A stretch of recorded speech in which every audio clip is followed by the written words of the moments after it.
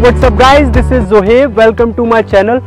So, in this blog I am going to review my Royal Enfield Thunderbird 350X after the 4 months. So, मैं आपको review देने वाला हूँ bike के लिए कि बाइक में क्या क्या खूबियाँ हैं और क्या क्या नेगेटिव थिंग्स हैं बाइक में आप क्यों को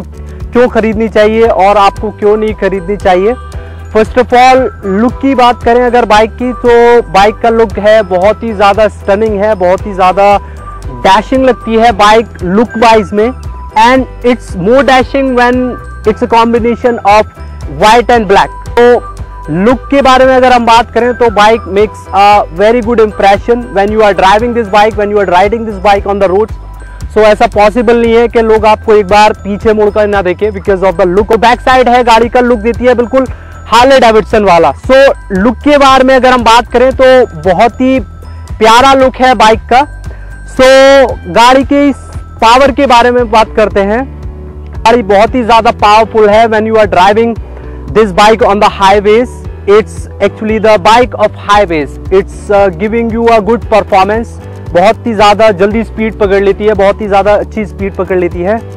राइट सो पावर के बारे में अगर बात करें तो it's perfect in power suspension जो है गाड़ी का बहुत ही ज़्यादा कंफर्टेबल है when you are riding this bike on the road road so at the time, suspensions are working very properly.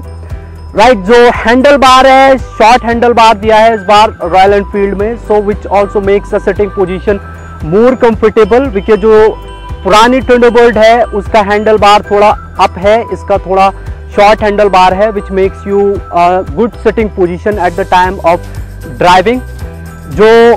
Bike का सिटिंग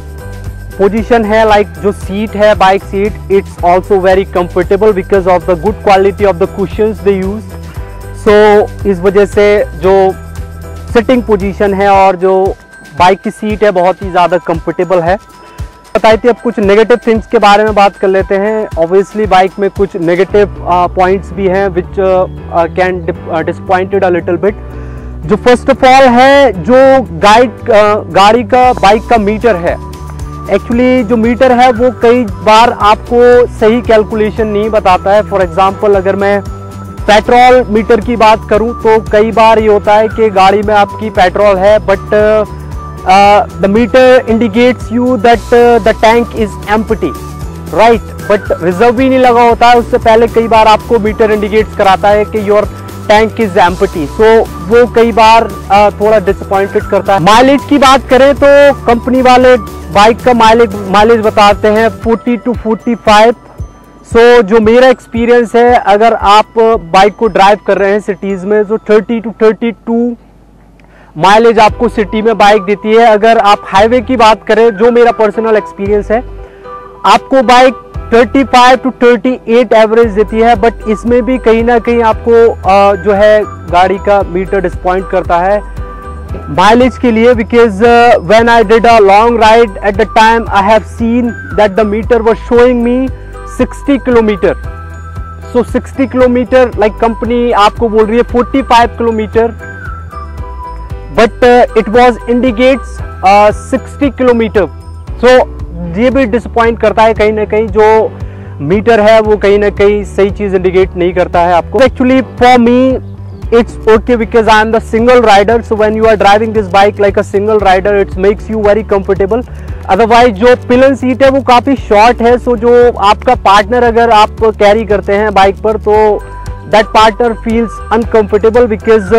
जो पिलन सीट है, वो काफ़ी थिन है एंड बैक रेस्ट नहीं है।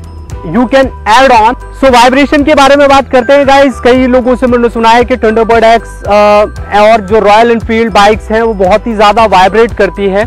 So what I can suggest you when I bought this bike at the time yes it was high vibration उस time जो बाइक का वाइब्रेशन था बहुत ही ज़्यादा वाइब्रेट होती थी बाइक उस टाइम पर. But if you'll go to the Royal Enfield like showroom you can just tell them so जो आरपीएम है बाइक का, वो लोग आरपीएम कम कर देते हैं बाइक का। सो आफ्टर दैट जो है, जो वाइब्रेशन है, वो नॉर्मल हो जाता है। So when you are driving this bike on the highways 80 तक गाड़ी इतना ज़्यादा वाइब्रेट नहीं करती है। 80 के बाद अगर आप 90 और 100 लेकर जाते हैं तो उस टाइम पे थोड़ा वाइब्रेशन ज़्यादा हो जाता है otherwise I can easily suggest you just go to the Royal Enfield showroom and just uh, then them that can decrease the. So उस उससे आपका जो है वाइब्रेशन गाड़ी का वो कंट्रोल में आ जाएगा when you are driving this bike on the cities and जो थर्ड चीज़ है गाइज़ कई बार when you are driving this bike on the rude roads so जो आपके लाइक शॉकर uh, है उसके अंदर से एक आवाज़ आती है पट। So I explain two times in the service centre that I am suffering for this kind of problem but they didn't fix that but वो बहुत ही rare chances are actually driving on the very very rude road so उस time पे breakers बहुत heavy है और you are driving very fast so उस time पे थोड़ा